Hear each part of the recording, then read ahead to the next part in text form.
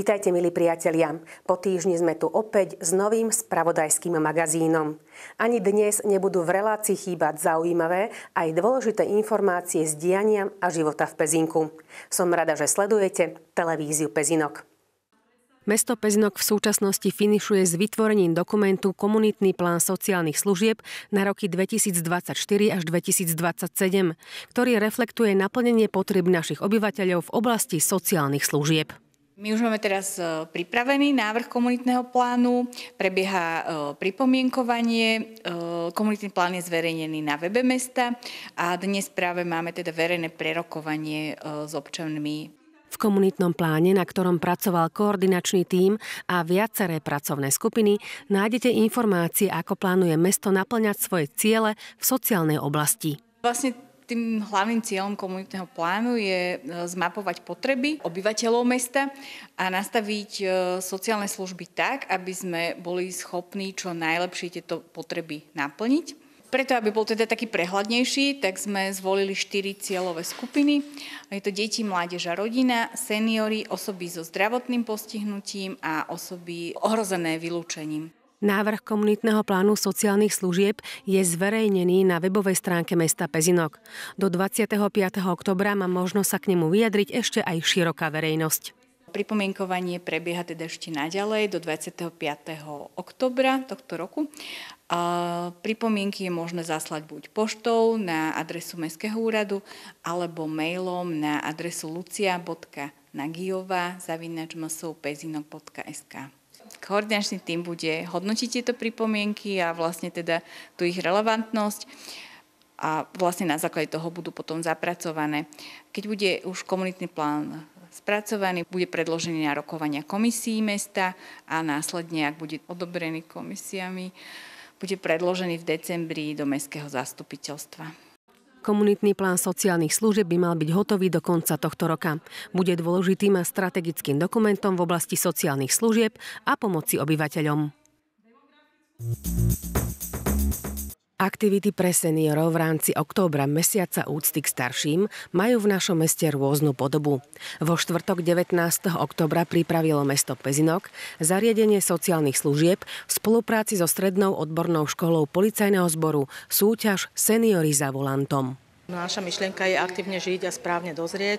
A preto, že vlastne boli sme aj inšpirovaní akože takou úniou žien, že mali, oni mali žena za volantom, len my sme nechceli akože diskriminovať, proste sme si dali akože vlastne, aby mohli ísť aj vlastne seniory, ale aj vodičky, aj vodiči. A vlastne tým, že robím akože na zariadení sociálnych služieb, teda tak sme si povedali, že dáme príležitosť seniorom našim, aby sa mohli akože aktivizovať a vlastne, že aby mohli akože ukázať, čo ešte vedia. Podmienkou účasti v súťaži bolo, že seniory museli byť držiteľmi vodického oprávnenia a mať vek 55 a viac rokov.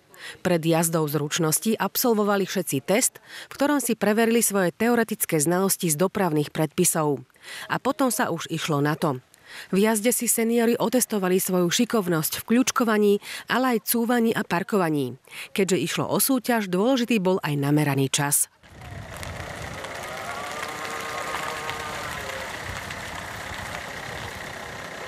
Ešte trochu.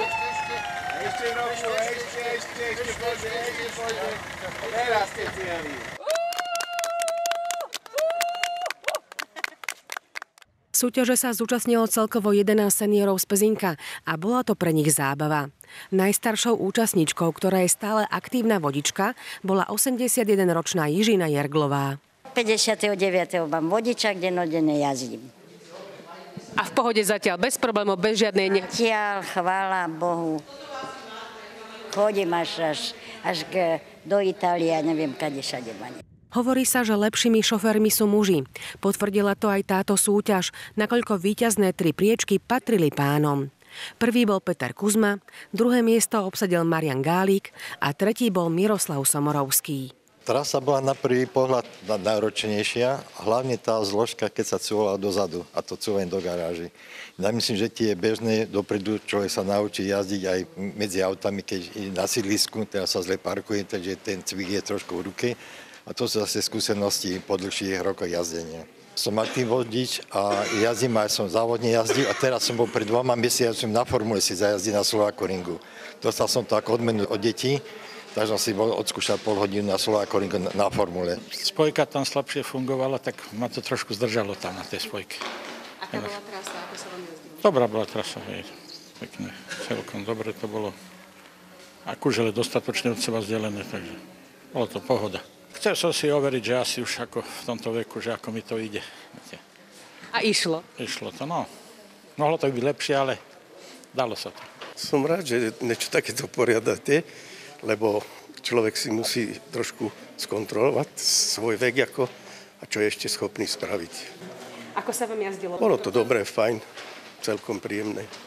Všetci seniori získali účastnícky diplom a malé ceny.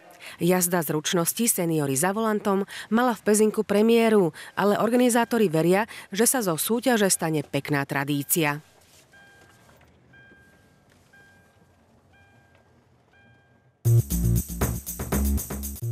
Spojená škola na Komenského ulici v Pezinku je už 4 roky zapojená do programu Zelená škola. Ide o environmentálny výchovno-vzdelávací program, ktorého cieľom je prevencia, ale aj riešenie problémov životného prostredia. Za aktivity v rámci prioritnej témy potraviny bola Spojená škola ocenená medzinárodným certifikátom Zelená škola. Ten jej bol spoločne so zelenou vlajkou udelený vo štvrtok 12. oktobra v Košiciach, kde sa konala certifikačná slávnosť.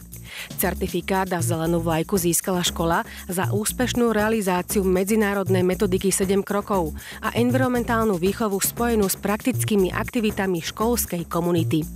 Spojená škola v programe aj naďalej pokračuje. Tentokrát si zvolila prioritnú tému Zeleň a ochrana prírody.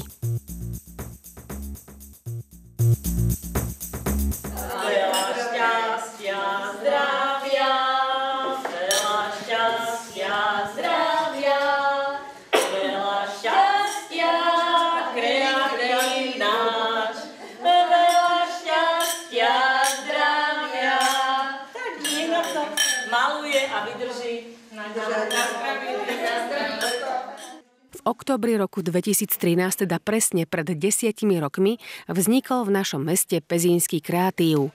Spoločenstvo umeleckých duší, kde čas hrá len jednu úlohu. Spája ich vo výtvarnej neprofesionálnej tvorbe. Seniori z Pezinka a blízkeho okolia sa začali stretávať najprv v Akadémii 3. veku, kde našli záľubu v kreatívnom tvorení. A to bol už len malý krôčik k vytvoreniu pezínskeho kreatívu.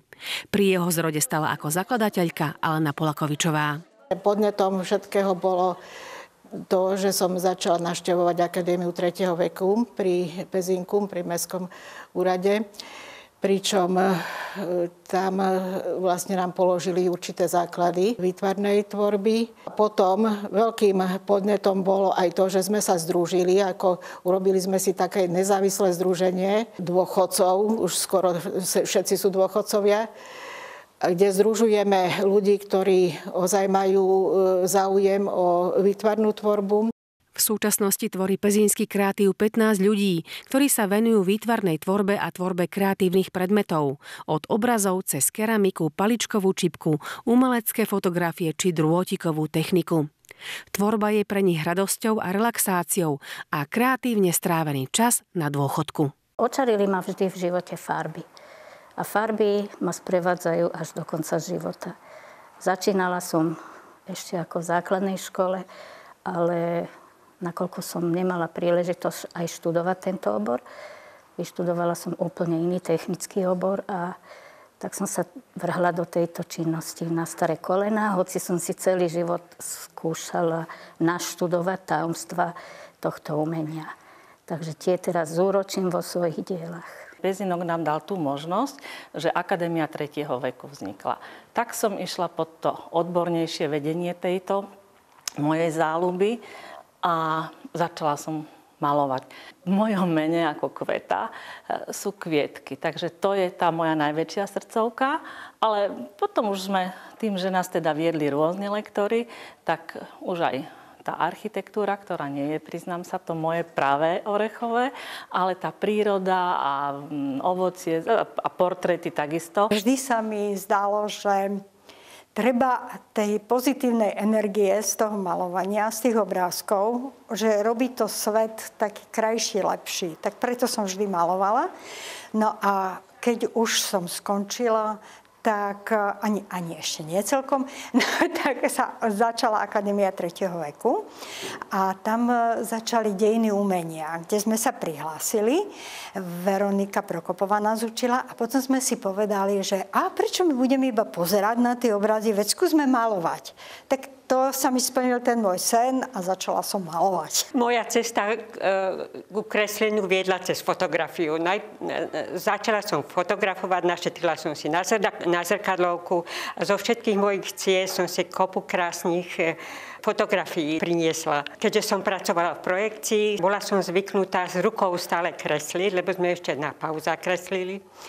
A potom sme prešli k počítačom a mne stále chýbalo to kreslenie, tá práca s tou rukou, tak som začala kresliť. Tvorila som od detstva. Ten základ som dostala od mamy, od otca. Bola som učiteľkou a tam som sa zoznámila s technikou drôtovania, takže to, tieto drôtikové veci, ktoré sú tu urobené, to vlastne mám ešte z roboty. No a keď som odišla do dôchodku, ostalo také ako si prázdno, tak e, som sa do Univerzity 3. veku prihlásila. Tam som sa s výbornými devčatami zoznámila. No a pozvali ma tiež do kreatívu a zistila som, že viem aj, aj malovať. Teda nie, vtedy ešte nie, ale e, som začala. No a mojou srdcovou záležitosťou sú zvieratá. Rada malujem prírodu a kvety. Tieto ostatné veci, zvieratka, postavy, portrety, to není pre mňa. To ma nebaví. To sú, to sú není veci, je to dosť zložité a treba sa tomu venovať, kdežto kvetom a príroda, jak ju namalujem, tak je. Nesmie byť ale presný obrázok. Musí to byť, jak to ja vidím, nie ako je to, povedzme, odfotografované. Členovia Pezinského kreatívu sa zúčastnili už viacerých medzinárodných workshopov a za sebou majú aj mnohé výstavy, prevažne v Malokarpatskom regióne. Každý tvorí individuálne, ale stretávajú sa aj spoločne. Dvakrát do mesiaca v dennom centre na Hrnčiarskej ulici a otvorení sú aj novým členom. Budeme veľmi radi, keď sa pripoja ľudia, ktorí majú záujem o nejaké vytvarné výtvarnú tvorbu a majú nejaké cítenie výtvarné, veľmi to podporíme, pretože určite prídu na to, že ich to bude naplňať. K desiatému výročiu blahoželáme pezinskému kreatívu aj my a želáme členom ešte veľa tvorivých, inšpiratívnych a kreatívnych zážitkov a spoločných chvíľ.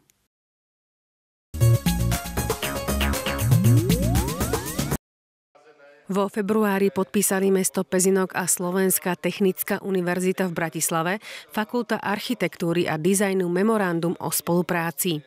Jeho prvým reálnym výsledkom bola vo štvrtok 19.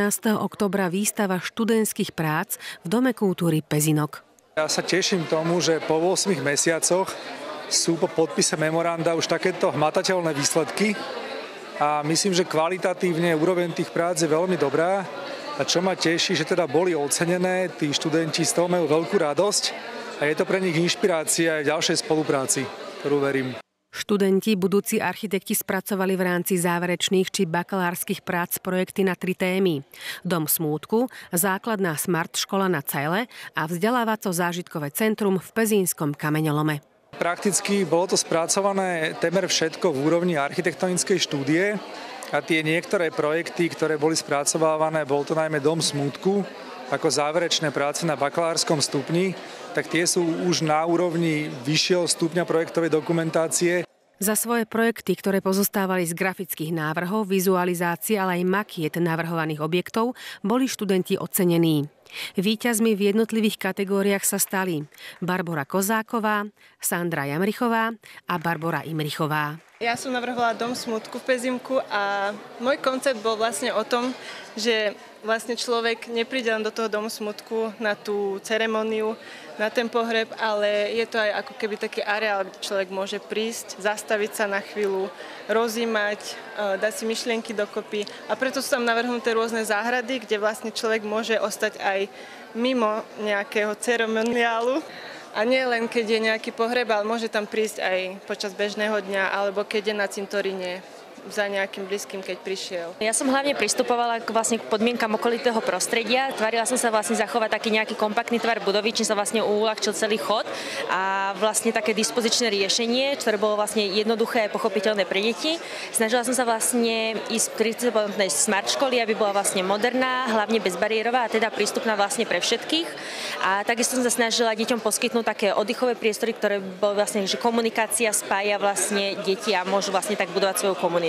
Tak je to teda vzdelávacie zážitkové centrum a je to v priestore kameňovomu bývalého, čiže išlo hlavne o zachovanie toho ušlomu a celkovo tých skál a takého veľmi jemného zásahu, že vlastne tou budovou sme chceli, alebo teraz som chcela vypichnúť tú prírodu na okolo, preto je vlastne aj taká jednopodlažná, nízka a vlastne nutí toho návštevníka na to navádzanie, na výhľady rôzne a aby sa teda kochal tými skalami, to prírodou, pozoroval živočíštvo a rastlinstvo, ktoré sa tam nachádza.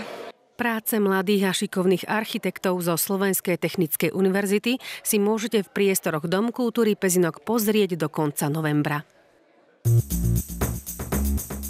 Jubilejný 50. ročník Medzinárodného filmového festivalu Ekotop Film Envirofilm zavítal aj do Pezinka, a to vo štvrtok 19.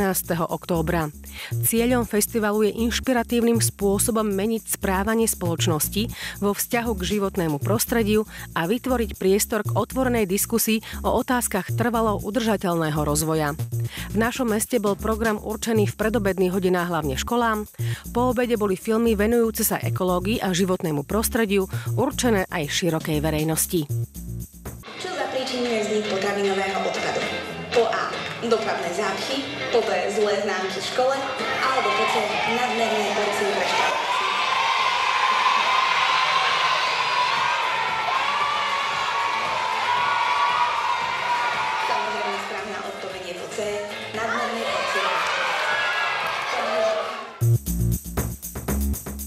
Členky denného centra na CLS aj tento rok spríjemnili svoju klubovú činnosť výstavou s jesenou tématikou, ktorú spojili s posedením.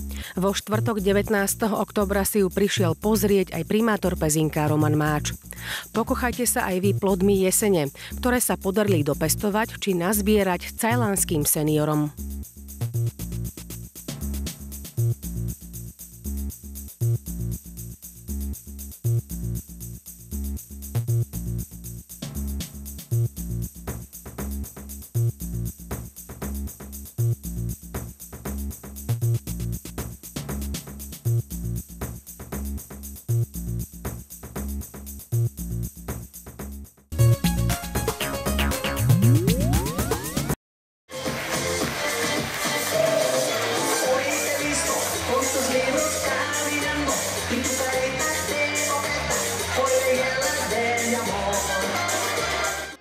Do Pezinka prišla uplynulý víkend špička tanečného športu. Dôvodom bol už 48. ročník medzinárodnej súťaže Pezínsky strapec. Ide o najstaršie fungujúce podujatie svojho druhu na Slovensku. Hlavným organizátorom bol klub spoločenských tancov Petan pri tanečnom centre Charizma. Podujatie podporili mesto Pezinok, Bratislavský samozprávny kraj, ako aj Slovenský zväz tanečných športov, ktorý udelil Pezínskému klubu výnimku a ako jediný môže organizovať takúto súťaž v priestoroch Domu kultúry a nie v športovej hale. Hlavne je to asi taká výzva a teší ma to, že tanečné páry v podstate jeden jediný krát tancujú v takých priestoroch, ako je u nás v Dome kultúry a veľmi si pochvalujú práve tú atmosféru a naozaj v tomto smere sú pezinčania skvelí. V tých športových halách to publikum je ďaleko a túto je naozaj ten bezprostredný kontakt a možno aj práve preto tu býva taká špička tanečných párov a teda to ma fakt teší a vždy motivuje. Sobotný deň Pezínskeho strapca patril slovenskému poharu dospelých a juniorov, do ktorého bolo prihlásených tento rok takmer 200 tanečných párov. Tie súťažili v jednotlivých výkonnostných kategóriách latinskoamerických, ako aj štandardných tancoch. Semifinálové a finálové tance boli súčasťou už tradičného gala večera.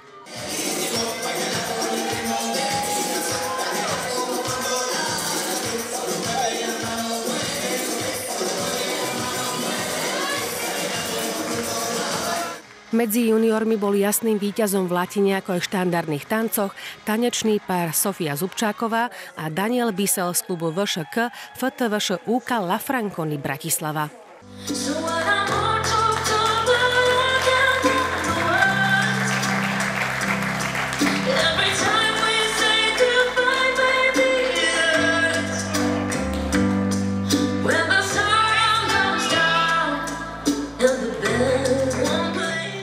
večer bol veľmi príjemný, aj pekná atmosféra, aj celkovo. A veľmi som šťastná, že sme akože dosiahli takéto akože miesto. A aj tie uh, tance, tie okažkové, tak boli veľmi príjemné aj pre mňa. Bolo to tu skutočne pekné. Cítil som celé publikum, ktoré nás povzbudzovalo počas tancov. Vážne som sa tu cítil skvelo. Aj slovenský pohár dospelých bol plný elegancie a ladnosti, ale aj temperamentu a latinských rytmov. V kategórii štandardných tancov patrilo prvenstvo páru Dušan Gruľa a Giada Granolini z tanečného centra Fortuna Poprad. Tomuto páru patrí momentálne aj 12. miesto v svetovom rebríčku.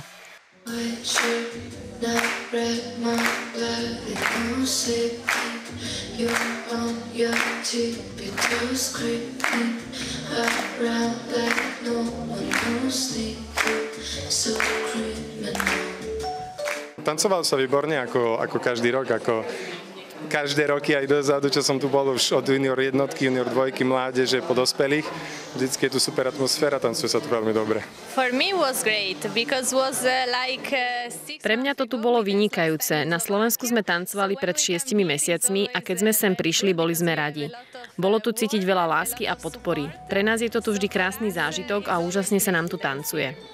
V 12. semifinalistov v kategórii štandardných tancov mal zastúpenie aj domáci klub Petam pri tanečnom centre Charizma. Konkrétne v pároch Samuel Kmeďka Lenka Jedličková a Marko Kmeďka a Viktória Poláková. Výťazmi slovenského pohára dospelých v kategórii latinsko-amerických tancov sa stala dvojica Dominik Drábik a Orsolia Farkašová z Talent Factory Dance týmu.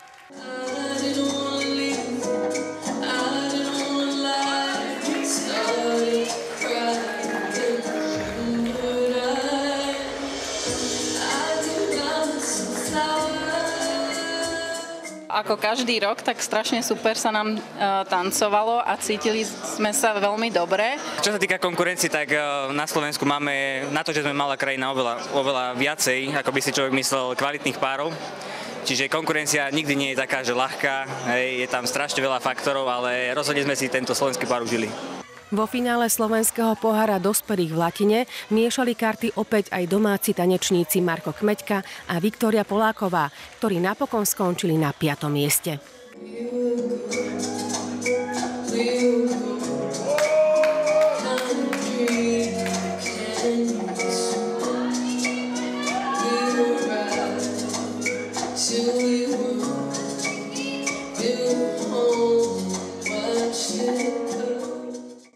Magazín Týždeň je na svojom konci. Ešte si pozrite pravidelnú rubriku bez komentára. Informácie z nášho mesta denne aktualizujeme na internetovej stránke tvpezinok.sk a sledujte aj náš YouTube kanál TV Pezinok Live. Majte krásny týždeň. Dovidenia.